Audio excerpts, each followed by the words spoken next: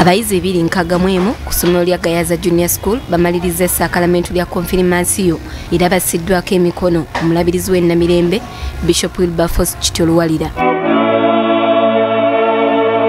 bishop luwalira asabye abantu nga bali mu kusoberwa bulijjo obutaterebuka basigale ku kituufu ate era beekwase katonda kubanga yeyekuwa okubasobozesa okubivuunuka. Kisobokera ddala okubanga buli ekitwetoolodde kirabika nga kikumalamu amaanyi gwe gy'oli oba ku mulimu oba mu maka oba mu nsonga za byabufuzi oba ensonga endala zonna nga weebuuza bwebuuza tulagawa ye bino biki? Buli kyolaba buli kifuluma ng'olaba ng'ekikumalamu amaanyi. Zabbuli ekikumi mu abiri mu etaano abeesiga mukama galinga olusozi sayuuni olutajjulukuka. Nolwekyo towanika. Omulabirizi yeebazizza essomero olw'okufaayo okuteekerateekera eggwanga eri enkyabantu abalimu ensa nga bayita mu mpeereza ey'omutindo.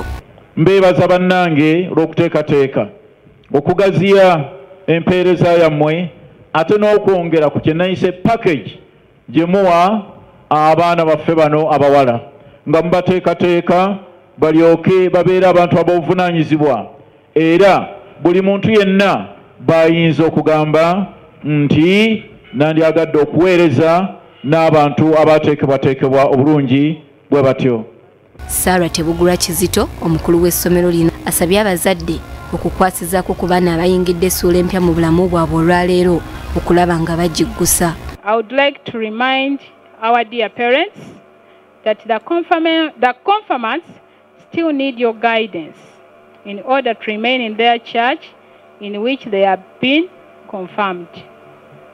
Teach them to love their religion and always pray to God because He is all in all. Allow them to fully participate in church and prioritize God in everything they do. doreen Nakajiri, bbs Terefina, agesigika tutereeza mukaawo mutusaasire kubadde kussa mukono ku baana